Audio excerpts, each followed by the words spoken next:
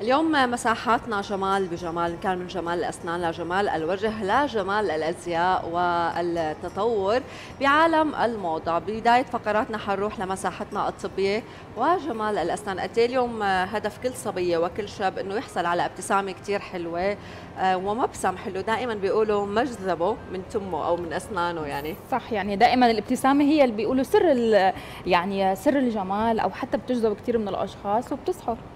يعني ابتسامه صح. وهي بتشوف بيقولوا كمان بيقولوا صدقة يعني صدقة جارية. وببلاش يعني خلونا طالما القصة ببلاش.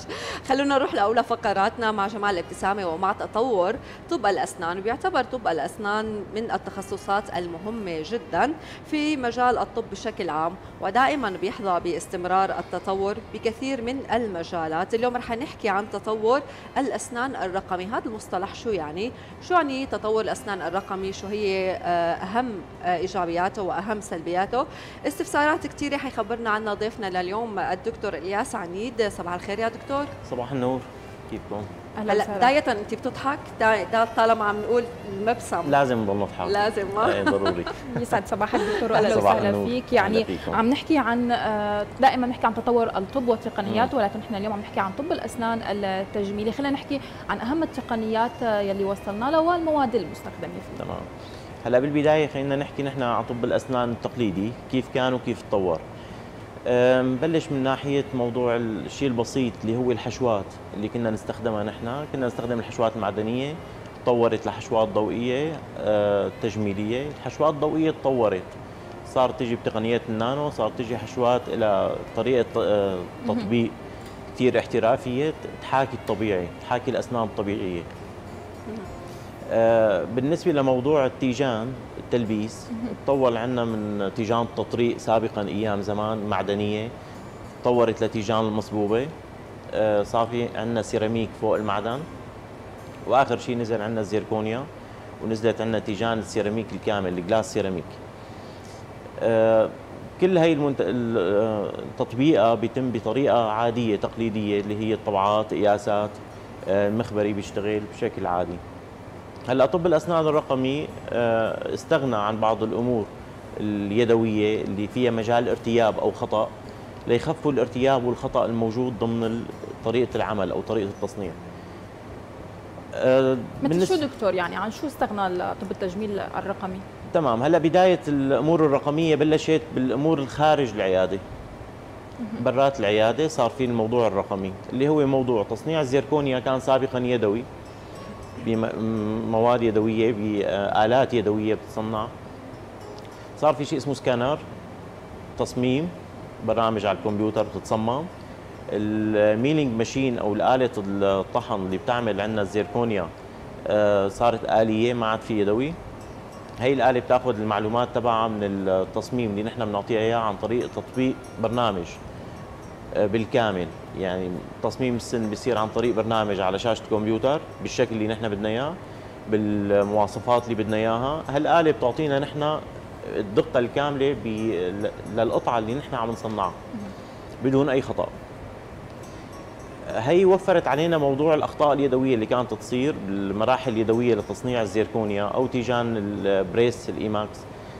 آه، بالنسبة للموضوع داخل العيادة تطور الموضوع الرقمي اليوم آه، صار في عندنا سكانر آه، داخل فموي. هي بتصير بالعيادة بديل للطبعات لقياس. أنا جربتها هي حكيم. تمام. سكانر. هي آه، بلشت من فترة ما صار لها كثير طويلة. صحيح. بلشوا يطبقوا عنا هالاجهزه طبعا بدايات الدقة تبعها ما كانت كثير عالية كان يطلع في أخطاء بالعمل. أنا لحد هاي اليوم أنا هي النقطة ما بقتنع فيها كثير بعد بدها شوية شغل لتصل للنتيجة اللي بدنا إياها نحن فعلا بالدقة العالية. الداخل الفموي عم تعطي نتائج كويسة. يعني بس بعد بدها شوية آه، يعني اليوم دكتور تطور. ضمن هذا الاختصاص نحن استغنينا عن الطبعات وعن أخطاء المخبر دائما بنشوف مثلا أحيانا بيكون الدكتور كثير شاطر وآخذ الطبعة بشكل والطباق بشكل كثير صحيح ولكن الشاب أو صبية ضمن المخبر بغلطة كثير صغيرة غيرت منظر الأسنان غيرت الطباق وغيرت ارتياح المريض لهذا التركيب يعني تماما. اليوم ضمن هاي التطور نحن رح نطلع من هدول الأخطاء أو ممكن نرجع نوقع فيهم. تمام. نحن كمهنتنا بنقل الحالة بين المريض للمخبر للتركيب نحن بمهمتنا نحن والمخبري بتكمن بنقطة واحدة هي تقليل الارتياب قد ما بنقدر أو الغائه نهائيا الأخطاء تلغى نهائيا خاصة أخطاء الأبعاد والقياس. لهي النقطة عم يستخدموا اليوم ال digital. تطور ال digital اليوم كثير مهم بالعيادة. لما نصل لمرحلة الكمال بالقياس إنه خلص عندي أنا دقة عالية جدا بدون أي ارتيابات أنا هون أكيد حأخذ نتيجة كثير رائعة ومرضية.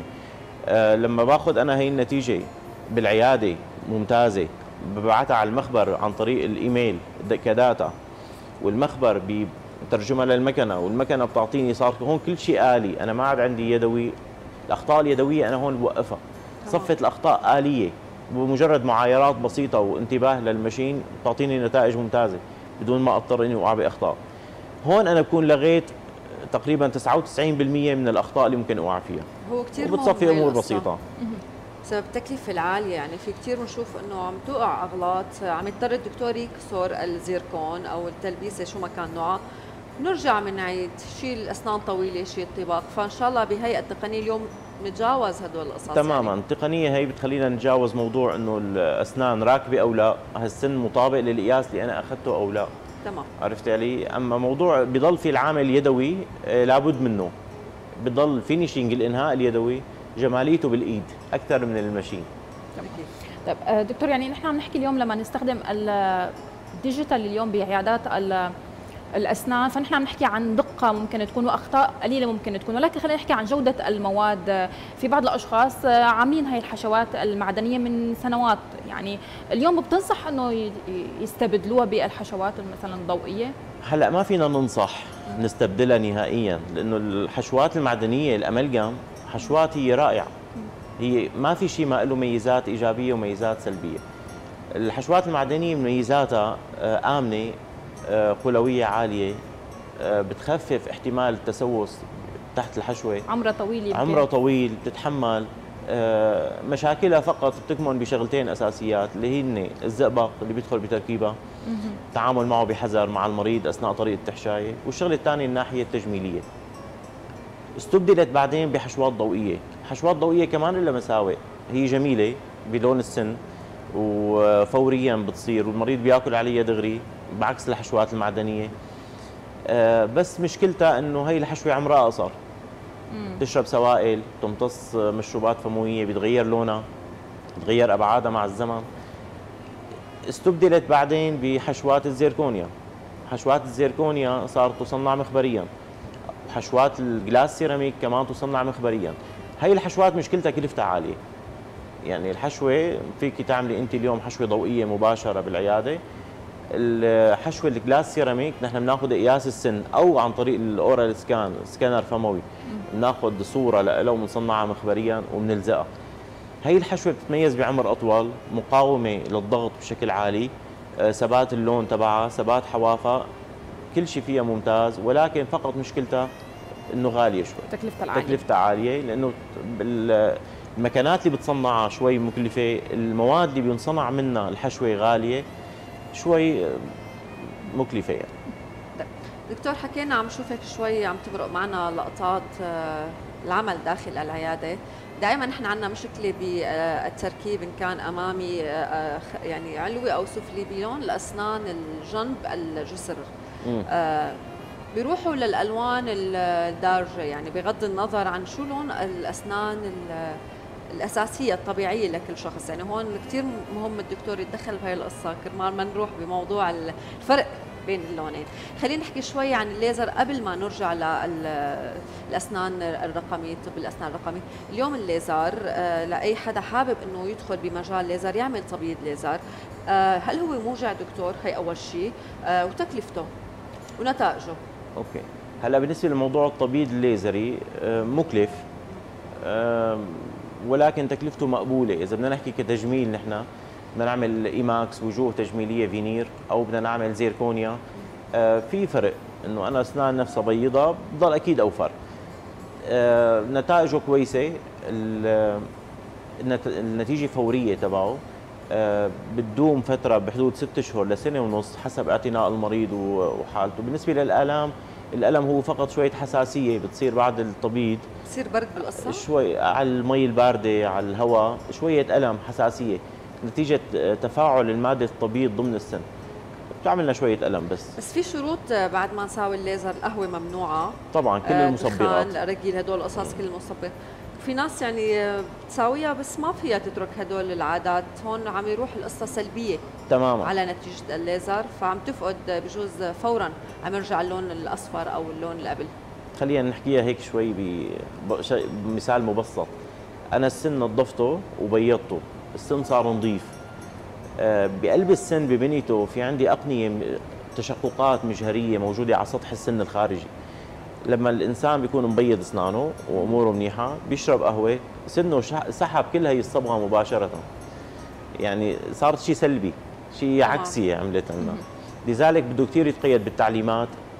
تعليمات صارمة يعني وقت التبييض وإلا مثل قلته خلينا الف رشايه طيب آه، دكتور خلينا هيك نختم مع حضرتك بنصائح اليوم بما يخص طب الأسنان الرقمي عن أهم الإجراءات يلي أنت عم تشوفها أخطاء ممكن شائعة عم بتكون أو نصائح بشكل عام اليوم أنت بتحب توجهها لك المتابعين؟ آه بالنسبة لطب الأسنان الرقمي اليوم آه هلأ النتائج كثير مرضية النتائج كثير كويسة. في بعض السلبيات لبعض الأمور اللي بعد عم تتطور بعد ما وصلت لمرحلة كثير عالية. أه بنصح طبعا أكيد إنه طب الأسنان الرقمي كثير عم عم يريحنا. إذا قارناه باليدوي نحن نسبة الأخطاء لا تذكر. أحسن بكثير أكيد من اليدوي اللي عم ينشغل بالإيد.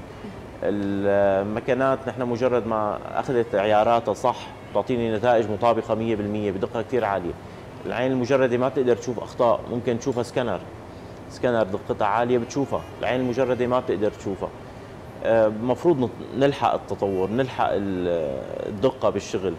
ما نضل على نفس ال system اللي ماشيين فيه يعني بأي جهاز بينزل بأي مكانات بتنزل بأي نظام عمل بينزل لازم نلحقه. مثل ما كنا الزيركون اليدوي صرنا اليوم الزيركون الآلي. كنا نشتغل إيماكس press حقن اليوم بلشت تنزل مكانات عم تصنع لك الإيماكس خراطة مباشر فوري ممكن تركبي الفينير بظرف 24 ساعة. تمام؟ مكلف شوي عرفتي؟ فقط الكلف يعني كل ما مشينا شوي بتصير الكلفه أعلى. الوقت كثير تمام بس الوقت يعني أنت عم تكسبي الوقت. وجودة. وجودة أكيد. هلا كونه عم نحكي بتقنية جديدة فكل حدا عم يشوفنا آه، بيروح فورا ليعرف شو الأسعار. في شيء اختلاف بالقصة أو هي بس مجرد تقنية ريحت الطبيب والمخبر؟ هلا الأسعار كثير بتفرق. يعني انت عندك آلات بتجي بأسعار رخيصة موجودة اليوم بالسوق وفي عندك آلات كثير غالية بتتميز بالدقة والجودة. الآلات الرخيصة بتتميز بالعمل التجاري سرعة الأداء ومثل ما بيقولوا عندنا تزت شغل. عرفتي؟ لا نحن بدنا دقة بدنا جودة للمكنة اللي عم نشتغل هي التكلفة عم تيجي على المريض أو على الدكتور؟ طبعا كله بيفرق على الطبيب وعلى المريض. بالنسبة للمواد المستخدمة نفسها الجلاس سيراميك اليوم اللي عم نستخدمه نحن مخبريا في أنواع كثير مجال كثير كبير بين شيء رخيص وشيء كثير غالي. كثير نوع بهالمطب إنه في هالقد أسعار وفي هالقد أسعار. كل شيء سعره فيه اليوم. يعني اليوم انت بتاخذي مادة كويسة معمولة صح وبتقنية مرتبة لها سعرها. في ارخص في مواد رخيصة بتجي المصدر تبعها بيكون خفيف. نفس الشيء بالنسبة للزيركونيا. اليوم الزيركونيا كثير موضوع حساس. أي قطعة زيركون ما, ما يعني عندنا كله بيقول لك زيركون. صحيح. ما كله زيركون. في زيركون كويس في زيركون لا. في زيركون مصادق عليه ومطابق عليه وموجود بشكل نظامي ومعترف عليه هذا زيركون منيح كويس. آه، ما بدنا شيء من برا لبرا غير معروف المصدر. وخاصة هي الواجهة بالنهاية. تماما. يعني صحة الإنسان بالنهاية تتطلب منا يكون كل شيء منيح. المواد كويسة ومرتبة ويعني معروفة. أيضا يعني الأسنان كجزء من الجسم عم تتحمل كثير عوامل الأكل السوائل إلى آخره فأكيد بحاجة مواد اليوم المستخدمه فيها بالعلاج تكون من أفضل الأنواع. تماما. لا تضاين معنا تماما. والزيركون اليوم عمره الافتراضي كويس يعني بتحكي أنت قديش فوق تقريبا؟ فوق ال 10 15 سنة بياخذوا تاج الزيركون. هو ما بيصير عليه شيء بس نحن تغيير التيجان مع الزمن بيتطلب منا تغيير نتيجة تغير مع العلاقة مع اللثة. لسه. تراجع اللثه الشيخوخي مع الزمن. هذا اللي بيخلينا نضطر نغير تيجان أما غير هيك لا. شكرا دكتور لحضورك معنا وصباحك جمال وأبتسامة على طول. شكرا لك. سعد صباحك. صباحك شكرا كثير لك دكتور. أهلا وسهلا. فيك.